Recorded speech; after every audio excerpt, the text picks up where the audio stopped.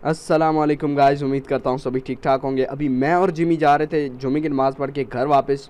तो जिमी उतर ज़रा दिखाऊँ कपड़े। कैसे लगे गाइस कपड़े कन्फर्म जन्नत ही लग रहा हूँ। अभी जल्दी से चलते हैं घर। जिमी भूख तो नहीं लगी होगी? पापा इधर कोई दुकान ही नहीं है पापा। इसीलिए आप पूछ रहे हैं ना? हाँ तो बेटा इसीलिए ही पूछ रहा हूँ और किस लिए पूछ रहा हूँ? पापा फ्रूट वाली दुकान फल फ्रूट वाली दुकान थी पीछे। कोई दुकान नहीं थी भाई कोई दुकान। मुझे तो नहीं नज़र आई। पापा मामा को बताऊँगा ना फिर आपको सही नज़र आएगी। अच्छा अच्छा यार मोड़ आऊँ। जी जी जल्दी मोड़े ना आपको दिखाता हूँ किधर है फल फ्रूट वाली दुकान। मैंने आम खाने इतने दिन हो गया आम नहीं लाए मैं रोज़ आपको कहता हूँ। जलील के बच्चे मुझे मिलते नहीं है ना आज नज़र आ गई है तो देखो रोक नहीं ली। रोकी नहीं है मैंने आपसे रुकवाई है। आराम से चलाएँ पापा आराम से। हाँ यार ट्रैफ़िक बहुत ज़्यादा है वैसे इधर। चलो यहाँ पर रोकते हैं ना फ्रूट ले लेते हैं इससे। एक मिनट एक मिनट ज़रा मैं गाड़ी से उतर जाऊँ। चलो। आ जाना अब। जी जी आ लूँ पापा। आ जाए। आ जा आ जा जल्दी आ जा। हाँ भाई फ्रूट किस तरह दे रहे हो? अस्सलामुअलैकुम भाई। फ्रूट किस तरह दे रहे हो ये बताओ।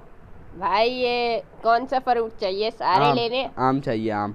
आम ढाई ढाई किलो? नहीं। ढाई सौ रुपए के किलो दे रहा हूँ भाई। रेट ही भूल गया है कोई आता जो नहीं है दुकान पे। अच्छा अच्छा। बीस रुपए का मिल जाएगा? बीस रुपए का छिलका मिल जाएगा एक आम का आपको। अच्छा ठीक है छिलके ही दे दो मेरा बेटा पीछे बैठ के चूसता रहेगा। क्यों जिमी? नहीं पापा नहीं नहीं मैंने आम का गुटला खाना है। जी जी ले दो बच्चे को गुटला खाना है भाई। इतनी बड़ी गाड़ी में घूम रहे हो एक गुटला अच्छा दे दो दे दो दे दो बीस रुपए का दे दो देना है तो। हाँ भाई बीस रुपए का ले लो। बीस रुपए रखो अपने पास मैंने कहा बीस का अचार डाल ले। ले लो। हाँ दे दें दे दें अंकल बड़ा मैं गरीब हूँ। कोई बात नहीं बेटा। शुक्र है। ऐसे ही लोगों के सामने भीख मांगा कर रोया कर मुफ़्त में चीज़ें ले आया कर। जी पापा क्या कहा कर? लूँ कहा कर लूँ मैं यतीम हूँ मुझे पैसे दें। जलील के बच्चे मैं कह रहा हूँ कहा करो कि मेरी अम्मी फोत हुई हुई है। ठीक है ना? पापा मामा को बताता हूँ ना। ये देखें पापा भिखारी है दे दें पैसे एक रुपया देंगे ना अंदर डालेंगे बाल्टी में और पचास उठा लेंगे। हाँ वही सही कह रहे हो आ जाओ आ जा एक रुपया देना पचास उठा लाना। अल्लाह के नाम पे दे दो बाबा। वो इतने ज़्यादा पैसे इकट्ठे किए हुए भाई ओहो। हक हलाल की कमाई है नज़र ना लगा अच्छा अच्छा रहने दो ए जिमी आ जा। वैसे भिखारी वाले काम में भी बड़ा पैसा देख रहा नहीं है बाल्टी भरी हुई है सारी। जी पापा जी बड़ा पैसा है। आप शुरू कर लें ये वाला काम। जलील के बच्चे बाप को कह रहे हो तुम। शर्म नहीं है? उतरो गाड़ी से। नहीं पापा ट्रेशी आप ही को शुरू करा देते हैं। जलील के बच्चे बहन के बारे में ऐसे बोल रहे हो तुम। नहीं पापा उनकी शक्ल लगती है ना भिखारियों के जैसी। कुत्ते आदमी बकवास ना करो कसम से बहुत मारूँगा। वैसे आपस की बात है लगती तो है उसकी शक्ल। जी पापा। पापा देखिए ना सारे घर वाले बिज़नेस करेंगे। अब मैं ना मंडी खोल लूँगा और आप ना ट्रेशी को ना मांगने वाला बना लेना और ना आप दोनों मिल के ना मामा पापा दोनों मिल के ना क्या करना लोगों के घरों में चालू देना। जलील के बच्चे ये क्या अपने लिए सबसे आसान काम सोचा है? और ये देख ले मैंने आज तक जो भी सोचा है ना तेरे लिए ही सोचा है। नाली साफ़ करा लो ये सारे काम जो भी आज तक मैंने देखे हैं भिखारी वाला काम सब तेरे लिए ही सोचे हैं। अपने लिए मैंने आज तक कुछ नहीं सोचा। पापा जो गंदी चीज़ें होती है वो आप मेरे लिए ही सोचते हैं। अपने लिए सारी अच्छी चीज़ें सोचते हैं। और ये जो तुम गंदे समझ रहे हो ना, ये बड़े अच्छे काम है, इनमें बड़ी मेहनत लगती है। ये भिकारी वाली मेहनत तुम्हें नहीं पता है?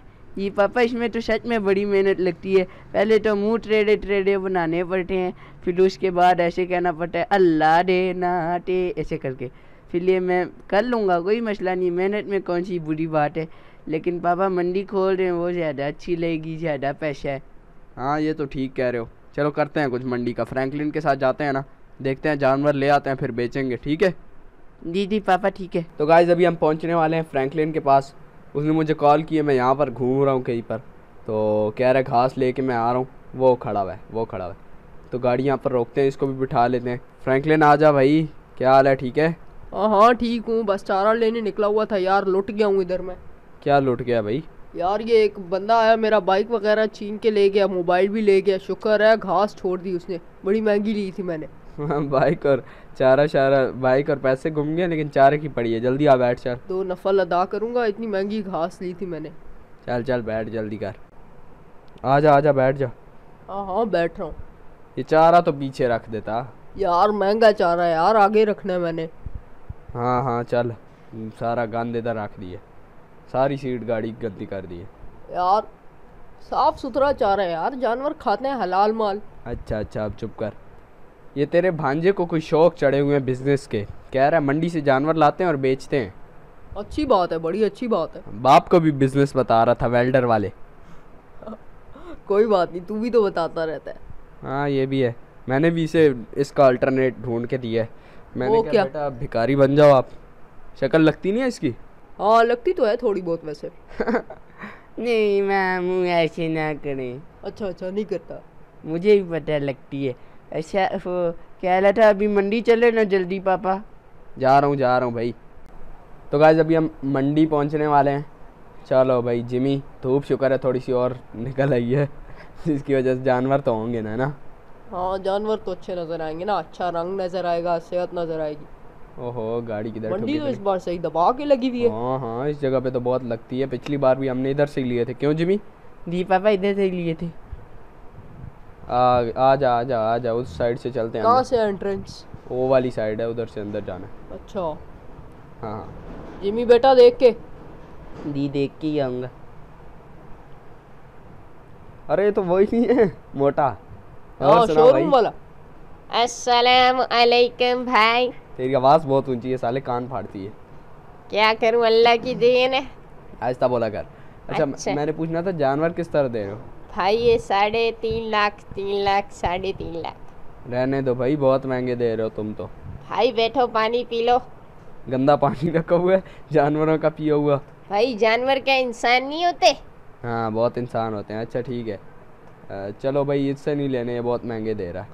आ जा जिम्मी आ जा जी आ हूँ पापा। यार देख इधर और तो बंदा ही कोई नहीं नज़र आ रहा। मुझे खुद नज़र कोई। वो एक सोया पड़ा है। ओ ओ। टकला ड्राइवर एक मिनट इससे उठाते हैं रुको। हाथ हिला रहा है सोते टीटी में। पापा ए ए ए ए ए उठ। कौन है कुत्ते का बच्चा जलील का बच्चा? अभी देख उठ उठ साले ड्राइवर ओ तू है तू है इधर तू क्या कर रहा है ख्वार हाँ इंसान? बिज़नेस कर रहा है हमसे चुपके हैं? मंडी में जानवर बेचे जा रहे हैं। नहीं तो बेचूँगा ना यार। क्या मेरे ऊपर पाबंदी लगी है? पाबंदी लगी अच्छा बता किस तरह दे रहा है जानवर? जानवर दे रहा हूँ ढाई लाख रुपए का एक। ओए होए ढाई लाख बड़ा महँगा है यार। दो का देना है तो ठीक है। कहीं और से ले लो मैं बहुत महँगे दे रहा हूँ। नहीं नहीं दो का दे दे यार। मेहरबानी कर दो जानवर लेने हमने। डेढ़ लाख का लेना यार दो का लेंगे तो फिर। हाँ डेढ़ डेढ़ डेढ़ का दे बेचना भी है ना हमने आगे। यार सीधी ईमान वाली बात बताऊँ मुझे पीछे से मिले ही डैडी के। हाँ बस फिर डेढ़ के दे दे। दे हाँ, दे देना हाँ, यार कोई बात नहीं दोस्त भाई यार बच्चा है तेरा इधर आना इधर बोला सा। मिले थे वैसे मुझे पीछे एक लाख। चलो डेढ़ के ले लो तुम लोग। चल वो ट्रक किधर है? कितने लेने हैं? दो। दो ही दूँगा दो से ज़्यादा मैं देने वाला भी नहीं हूँ। अच्छा अच्छा ठीक है दे। अब हमें और है कितने कुली तेरे पास? मेरे पास कुल दस हैं। होए, सही जानवर लाया अभी है। सही नोट छापेगा इस बार। चलो ठीक है करते हैं लोड ट्रक में। मैं ट्रक लेके आता हूँ ना चुप के मंडी क्यों लगाई हुई थी तूने? चलो भाई इस ट्रक में मैंने गाइस लोड कर दिया और तुम लोग गाड़ी लेके आओ ठीक है? सही है मैं ला रहा हूँ गाड़ी। छुप के हमसे मंडियाँ लगा रहे हैं देखो भाई। हम्म। चलो तुम लोग गाड़ी में लेके आना और सारे ये आराम से। पंखे के भी दो हज़ार रुपए हो गए हैं ठीक है? ठीक है ठीक है दे देंगे। जरील है बड़ा है ना? हम्म। वापस दे देंगे तुझे। वापस? हाँ वापस दे देंगे ना बाद में किराए के लिए ही ले रहे बाद? चलो मैं ये लेके पहुँचता हूँ तुम लेके आओ ठीक है? हाँ सही है। मैं जानवर घर पहुंचाता हूँ और तुम गाड़ी लेके आना और सही से चलाना। चलो भाई जल्दी से गाइस अब पहुँच जाते हैं घर। और फिर आप लोगों को बाकी का सीन बताता हूँ कि कहाँ पर जानवर अब खड़े करने हैं। मैं कह रहा हूँ, जगह भी कोई ड्राइवर से पता करते हैं। तो जल्दी से पहुँच जाते हैं घर, फिर बाकी देखते हैं ये पहुँचेंगे नहीं। तो गाइज़ मैं अभी घर पहुँच गया हूँ और देख पा रहे हो, सारा सामान ले आऊँ और ये मेरी बाइक वो भी आ गए देखो, गाड़ी खड़ी कर दी उन्होंने। मेरे बाइक को देखो ना, गिरा दिया इसने, गधे जिमी ने। चलो यार, अंदर जाता हूँ रेस्ट करता हूँ ज़रा। चलो यार, ऊपर जाके देखो ये अमेंडा लोग क्या कर रहे हैं। ओहो बालकनी में आवाज़ आ रही है। मामा मामा देखें पापा शुअर लाए हैं। कभी कहीं की वो सुअर नहीं होते खोते कहते हैं उनको खोते। इनको खोते और गधे नहीं कहते इनको कहते हैं बैल। और ये जबा करते हैं कुर्बानी पे अच्छा ना? पापा मैं तो जिमी की बात कर रही थी। हाँ और मैं तुम्हारी बात कर रहा हूँ। पापा। बस गाइस आज की वीडियो में इतना ही। अगर आपको वीडियो पसंद आई तो लाइक करना चैनल पर नए हो तो सब्सक्राइब करना। थैंक्स फॉर वॉचिंग ऐसे ही मज़ेदार वीडियोस आती रहेंगी। तो बेल नोटिफिकेशन पर क्लिक करना मत भूलना। खुदा हाफिज़। मैं भी देखता हूँ अभी जिमी बिज़नेस कैसे नहीं करता।